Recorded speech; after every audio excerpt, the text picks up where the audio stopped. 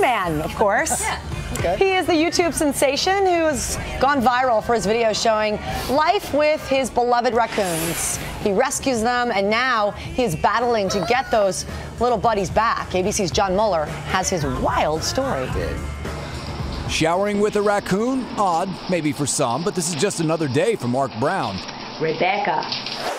This little black eyed bandit is at the center of a massive social media campaign started by her owner. I'm feeling like that I have had one of my children taken from me. Brown has raised Rebekah since she was bottle feeding, but now the state has taken her away, saying it's illegal to keep wild animals as pets. But this isn't Mark's first pet raccoon. In this 2012 video, Brown is dancing with Gun Show, and it catapulted him into the YouTube stratosphere. Over a million hits, and more videos followed. Gun Show getting a bath with Hannah Montana shampoo. Smells good too. Even drinking Pepsi. Guess he likes Pepsi.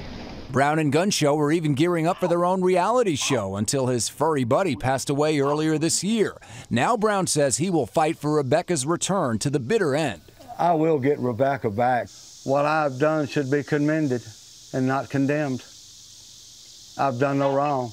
Brown says he rescued Rebekah when she was born back in May. He even bottle fed her. She'd play, she'd dig, she'd chase bees, pick flowers, whatever. She just done what raccoons do. And he says he's been protecting her ever since. If she's released into the wild, all hunters have a legal right to train their coon dogs with her or kill her or trap her for her fur. That's not what I want. But now Brown is fighting back against the Tennessee Wildlife Resources Agency that took Rebekah away, asking the governor directly to help him get his Rebekah back. And we have a nationwide campaign now called Free Rebekah. We've got emails, 75 to 100 emails we answer daily. And they're all petitioning Governor Bill Haslam to give me a full pardon, forgive me of my sin, and let me get a permit to keep her.